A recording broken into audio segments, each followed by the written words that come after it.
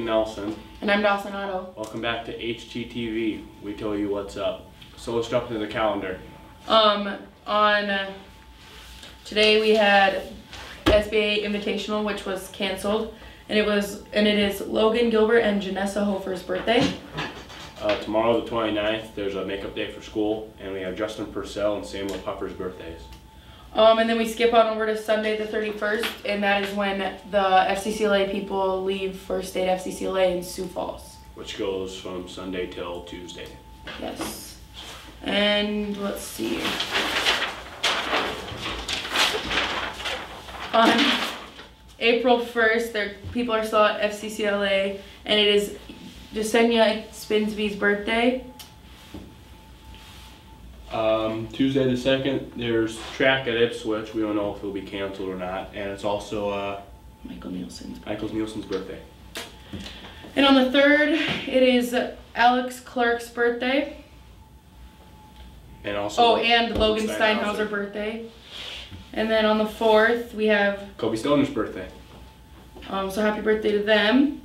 On the 5th, we have school in session. I think it's a makeup day. And there's supposed to be track at Miller.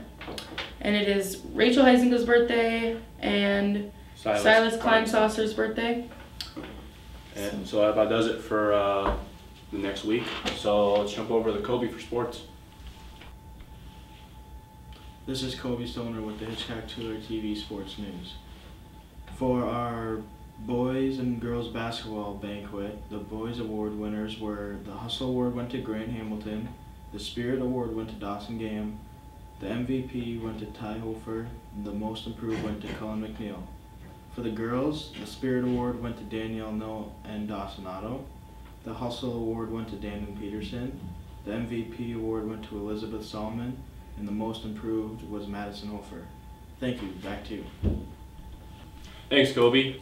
Now let's jump over to Amanda with the senior spotlight for the week.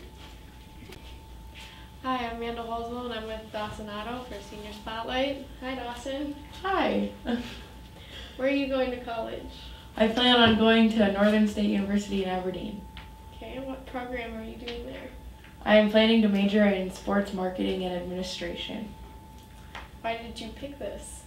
I decided to pick sports marketing because sports have always been a big, big part of my life, and I don't think I could do life without them. And I feel like it'd be easy job for me to do since I love sports that much.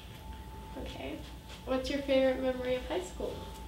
My favorite memory of high school would probably be prom. Do you have any advice to your younger classmates? Um, my advice to the younger kids would be do not procrastinate because it sucks the last day and make sure you respect everyone, even your the upperclassmen and the teachers because they don't show a lot of stuff to other kids. So, yeah. Thanks, Amanda. That about wraps up this week's edition of HTTV. Remember to be awesome, Not average.